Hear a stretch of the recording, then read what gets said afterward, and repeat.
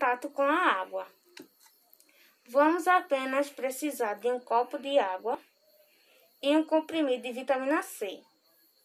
Eu vou colocar o comprimido na água e observar o que acontece.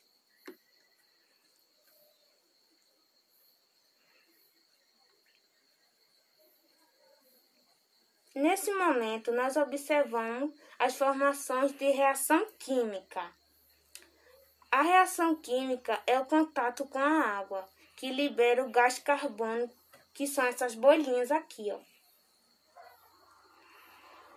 Então, pessoal, temos o exemplo do fenômeno físico, onde, onde são gerados um novo ingrediente que permanece a mesma.